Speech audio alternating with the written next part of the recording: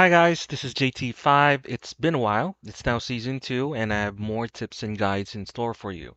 To start things off, please don't forget to like, comment, and subscribe to my channel. I would really appreciate it.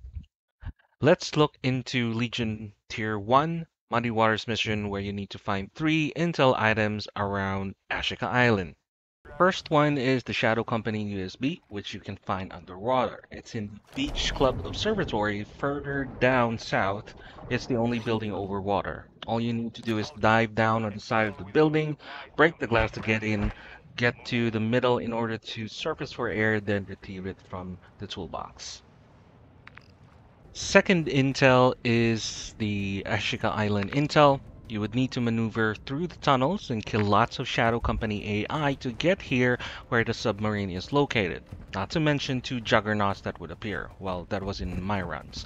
Once you're in the area of the submarine, just look for the container on the side and the intel will be in a corner. Last but not least is the Crown Intel, which is located in the power plant.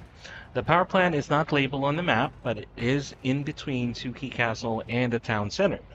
You'd hardly miss it because it's a stronghold. You would need to have a strong keycard to begin with, and how I did it was to climb the top and start from there. It's more manageable.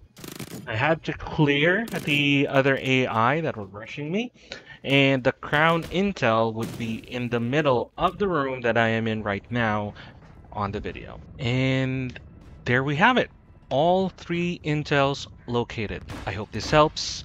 You have a nice day and cheers!